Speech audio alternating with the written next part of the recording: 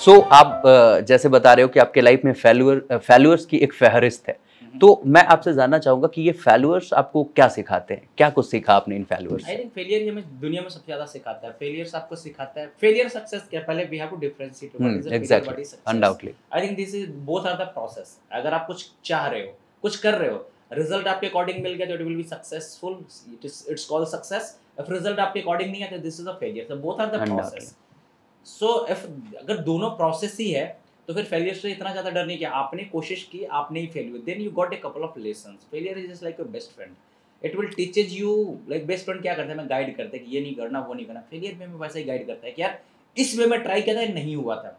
ये करो तो होगा। शायद नो ये वाला डाउट आउटडेटेड हो चुका है। क्या तो बात। Failure just like a best friend embarrass it और कोई भी ऐसा इंसान आई डोंट थिंक सो कि there is a single person on this planet who will say that कि I have not failed everyone fails this is very common thing because यही process है undoubtedly आप फेल होंगे तभी आपके पास होने yes. की संभावनाएँ बढ़ जाएँगी